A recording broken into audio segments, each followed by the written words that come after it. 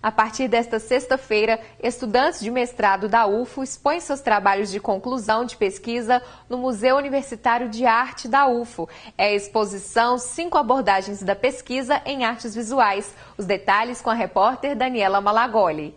Ao meu lado está José Davi Rojas, que é pesquisador da UFO, expositor. Ele veio de Bogotá, na Colômbia, só para fazer mestrado. Vai contar um pouquinho para a gente do que é essa exposição, né, Davi? É, sim, é, a exposição é a mistura de cinco trabalhos de meus companheiros de mestrado da, de artes, atualmente da UFO.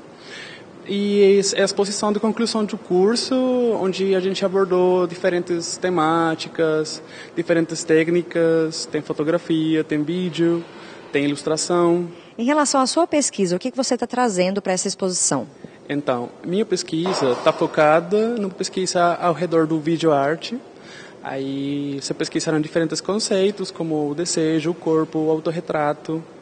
E os vídeos que estão expostos aqui na, no MUNA tem a ver um pouquinho com a teoria queer, os movimentos LGBT. Para a gente encerrar, então, todo mundo convidado para a abertura nesta sexta-feira, né? É, a abertura será sexta-feira, às 19 horas aqui no MUNA. E espero que que bem conhecer o trabalho das, dos pesquisadores da UFO. Ok, muito obrigada pelas informações. Giz, é isso, todo mundo convidado. A exposição fica aqui no Museu Universitário de Arte da UFO Muna até o dia 24 de fevereiro.